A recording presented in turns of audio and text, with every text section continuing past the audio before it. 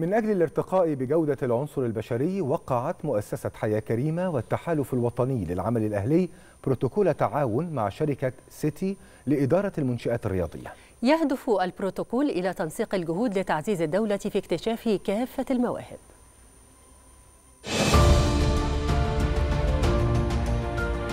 من أجل الارتقاء بجودة العنصر البشري وتحقيق متطلبات التنمية البشرية وقع مؤسسة حياة كريمة والتحالف الوطني للعمل الأهلي التنموي بروتوكول تعاون مع شركة سيتي لإدارة المنشآت الرياضية بغرض تنسيق كافة الجهود في إطار تشاركي يحقق المنفعة العامة ويعزز تنفيذ الدولة لاستراتيجياتها الوطنية والتكاتف لخدمة المواطنين. الهدف الرئيسي من عقد البروتوكول النهارده هو دعم المواهب في كافة المجالات وليست فقط المجالات الرياضية سواء ثقافية أو علمية. دي الخطوة السريعة الأساسية لاستكمال المنظومة اللي هي بعد كده اكتشاف المواهب بعد كده النهاردة التنمية في سواء على المستوى الرياضي ومستوى الثقافي ومستوى الاجتماعي.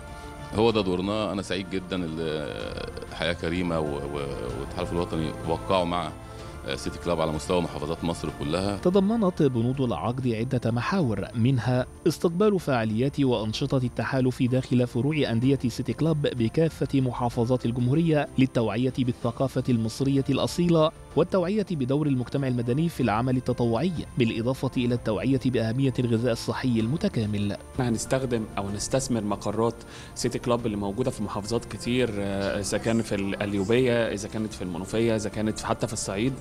إن إحنا هنستخدم هذه المقرات وإحنا كمؤسسات في التحالف الوطني معنيه بالتطوع زي صناع الحياة هنستخدم إن إحنا نجذب مجموعة من المتطوعين سواء بقى من أعضاء النادي أو من الناس اللي عايزة تتطوع في المبادرات بتاعتنا. ويهدف البروتوكول إلى دعم وتكامل الجهود المبذولة في تلك المجالات التي تستهدف تحسين جودة حياة المواطن في ظل رؤية مستقبلية بأهمية العمل على تطوير صناعة الرياضة.